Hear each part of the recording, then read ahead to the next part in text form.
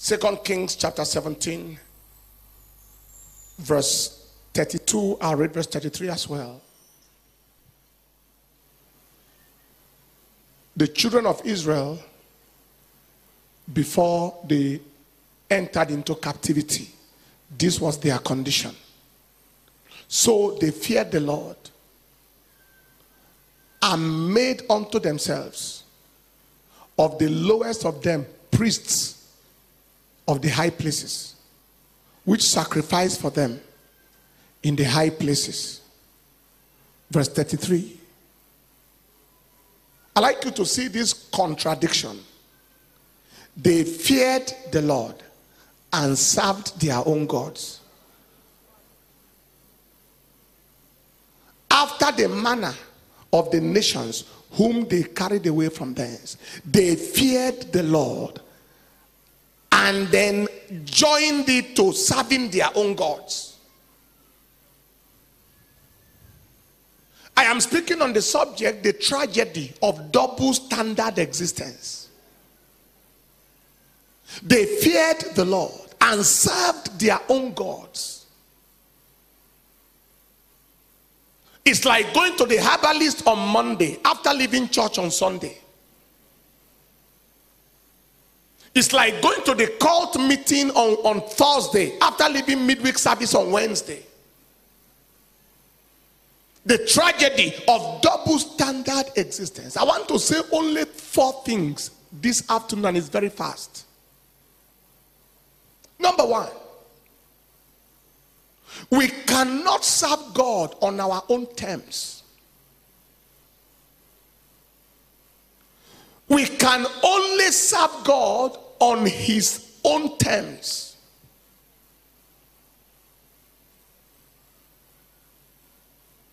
We can never bring God down to our level. We can only take ourselves to His level.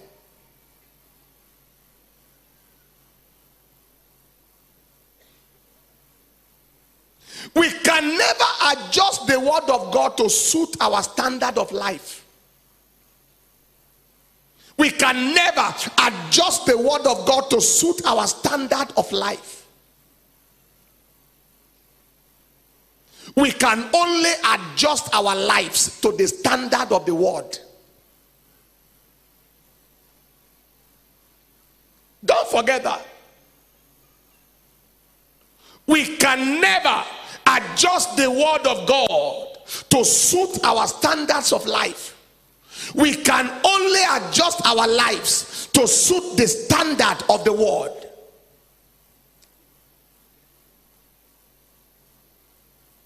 Any fear of God that does not change lifestyle is a useless profession. Any devotion that does not change character is a wasted effort. They fear the Lord and they serve their own gods.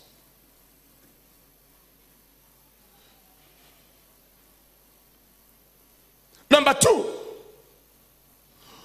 we cannot hold on to our own ways and do His will. We can't. We cannot hold on to our own ways and do His will. I'd like you to note this. There can be no marriage between the ways of man and the will of God. That marriage does not exist. There can be no marriage between the ways of man and the will of God. It does not exist.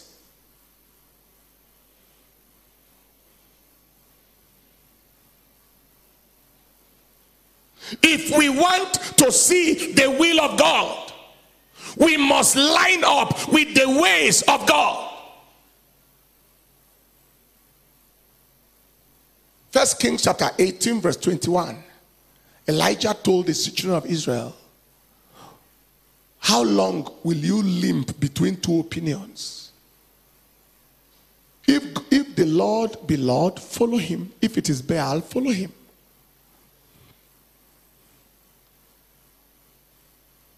They, they feared the Lord and served their own gods. They feared the Lord and continued drinking alcohol. They feared the Lord and continued night clubbing. They feared the Lord and continued ungodly associations.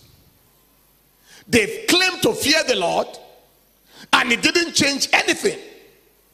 There can be no marriage between the ways of God, of man, and the will of God. It was Kathryn Kuhlman that said, There can be no two wills in one person.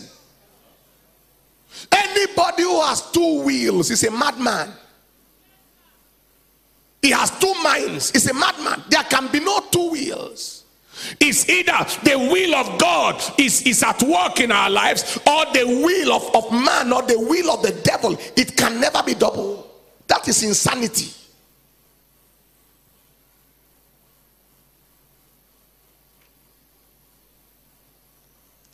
Thirdly, we cannot fit into the world and fit with God at the same time. We can't. And don't misunderstand me. We are in the world, but not of the world. We cannot fit into the world and fit with God at the same time.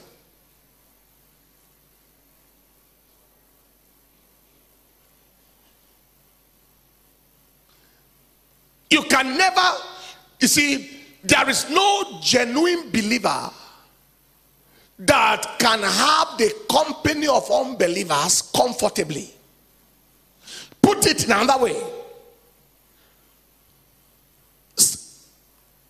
Standard unbelievers, standard, that is the real unbelievers, can never be comfortable around the genuine child of God. Never. Capital letter N E V E R, red, underlined. Never. Your life convicts them. Your integrity is a rebuke on their iniquity. When they come close to you, they run away without you preaching. They look at you and they feel like you are condemning them and you have not said the word. Take your seat. It is not possible. I mean, there are people who fit in perfectly in church. And then when they go outside church and you see them with drunkards and smokers and lesbians and those kind of people, they also fit in perfectly. And you are wondering, how is that possible? That a pig could be comfortable in the company, a lion could be comfortable in the company of pigs. How?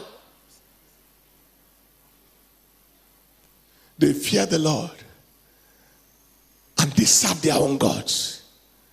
You know, at times I'm very confused because of the confusion that I see in some people's lives. The other day I saw somebody came out uh, for, I think, for a testimony or something. Zero makeup, like ancient saints. No earring, nothing. But come and check out the dress. Head is tied. Before you can say, Praise the Lord, this is person is looking modest, then the back is under pressure, the chest is under pressure, the side is under pressure, the cleave. Oh my God. What confusion is this? I don't know whether you understand what I'm talking about. What confusion is this? I don't know if you, if you understand what I'm talking about. What confusion are we dealing with?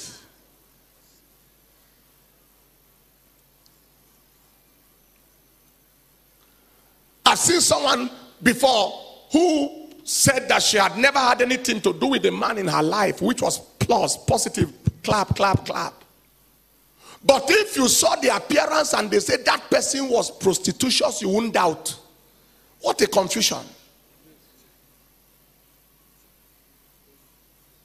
Am I, am I speaking something to somebody here? They feared the Lord and served their gods.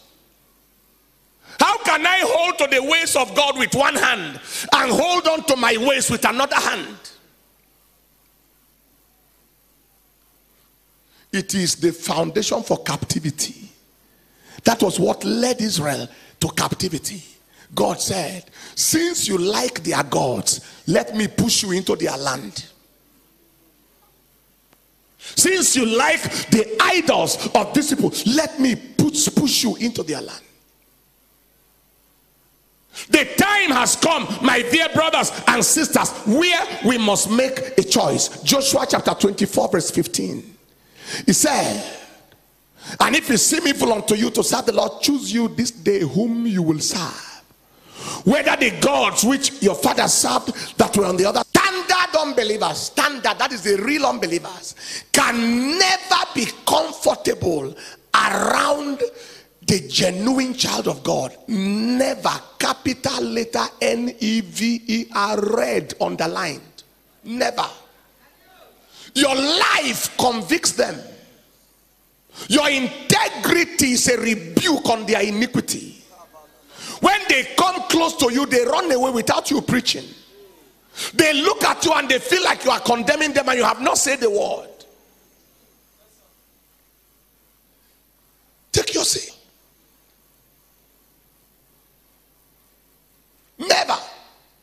How can you be bowing down to the Almighty and be bowing down to another God? We cannot be under the authority of the Almighty and be under the authority of the world at the same time. The time has come where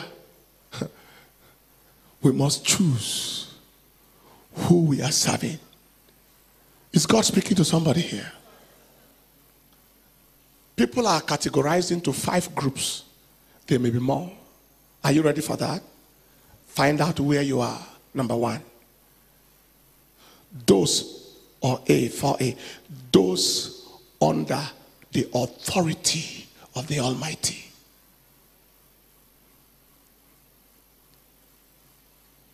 Number two, those under the authority of society. The first group, they are under the authority of Jehovah. They take their bearing from the Almighty. Number two, those who are under the authority of society. Number C, those now, now uh, those who are under the authority of the Almighty, you know that the word of God rules them. God rules them. Those under the authority of society, it they, they, they line up with society. It is a matter of majority carries the vote. It's a matter of is this the current thing that everybody is doing? Then let us go. These people don't have a mind of their own. They are they are they are they are they are helplessly under crowd control. The control of the crowd. Helplessly. Hopelessly. Number C, those under the authority of company. Now, society is at large, but company is few. That is your friends. There are those who have stopped coming to church or stopped doing certain things because a particular friend says something. The authority of company, like Samson.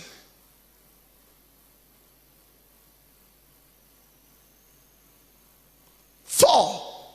Is that four? Those under the authority of materialism under the authority of mammon. Money sends them. So, the first group, Almighty God is their God. The second group, society is their God. The third group, a friend is their God.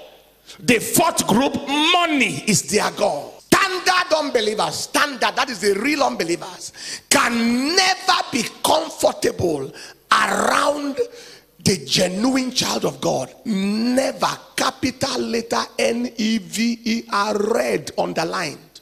Never. Your life convicts them. Your integrity is a rebuke on their iniquity. When they come close to you, they run away without you preaching. They look at you and they feel like you are condemning them and you have not said the word. Take your seat. Are under the authority of pleasure. So it is like they feared God, and still worship society. Or they feared God, but what their friend says is more important than what God said. Or they feared God, but once God and money clash, they choose money. Hello? Or they fear God, but they cannot pray for one hour a day, but they can watch a six hour movie non-stop.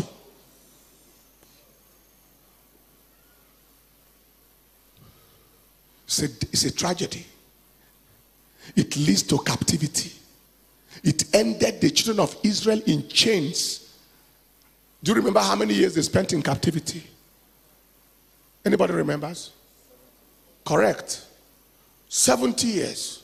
In fact, it was entering 71 until Daniel went before God and said, oh, Prophet Jeremiah prophesied 70 years. Why has captivity not ended? They were in chains because of the tragedy of the double standard existence. How many of you know that real unbelievers don't pretend to be Christians? You didn't hear what I'm saying? Carry his cigarette and blow it in your face.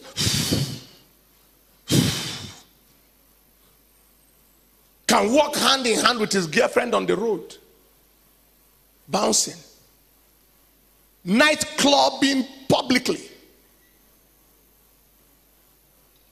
It is only Christians that do their own Nicodemously. While your, your, your, your, classmate is not afraid of holding cigarette, you are ashamed of holding a Bible. While they are not ashamed to say, I am going to, um, to, to, to that joint over there, you are ashamed to say you are going for service, it is service time in case they mock you. While they are not ashamed to dress naked, you are feeling somehow to dress decent.